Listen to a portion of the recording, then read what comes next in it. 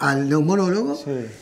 y me dijo, no tengo duda, vos tenés cáncer de pulmón. Después de ese día no, yo supe que no iba a fumar nunca más. Cambiás de hábitos, cambiás de vida. Nos empezamos preguntando por qué. Sí, ¿por qué y por qué a Pero mí? la pregunta es ¿para qué a mí? La palabra cáncer a muerte. Cuando te Sí, dicen tenés cáncer, la pregunta es, bueno, ¿y cuánto tiempo me queda de vida? Y queda claro que no, o sea, que puede pasar con una cirugía, con otros tratamientos. ¿Cómo es? Estamos acostumbrados siempre a luchar contra los enemigos, contra lo que viene de afuera. Y con el cáncer, ¿cómo haces? Lo generaste vos. Vino de adentro tuyo. Yo creo que hay mucho por comprender, por aceptar. Buda decía que la enfermedad es uno de tus maestros. No hay lucha, no hay combate, no hay una guerra. Hay una frase que me gusta que es, ¿qué hace latir tu corazón? No tenés que esperar tener cáncer de pulmón o, o una pérdida atroz. Alcanza con un cielo azul o que alguna vez empezar a buscar qué hace latir tu corazón, qué te hace feliz.